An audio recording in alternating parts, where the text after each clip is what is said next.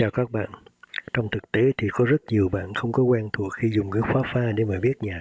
Do đó hôm nay tôi dùng một trích đoạn ở trong cái bài chỉ dẫn làm hòa âm với Music Finale 14 vừa rồi để mà chỉ dẫn cho các bạn cái cách chuyển đổi nó như thế nào.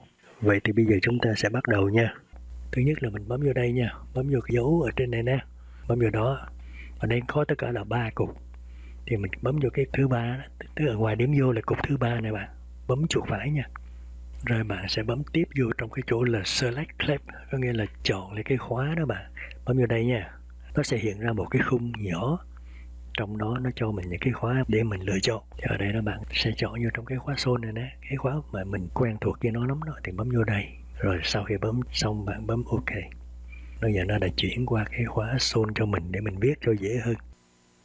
Vậy là xong rồi đó bạn. Nó rất là đơn giản, phải không?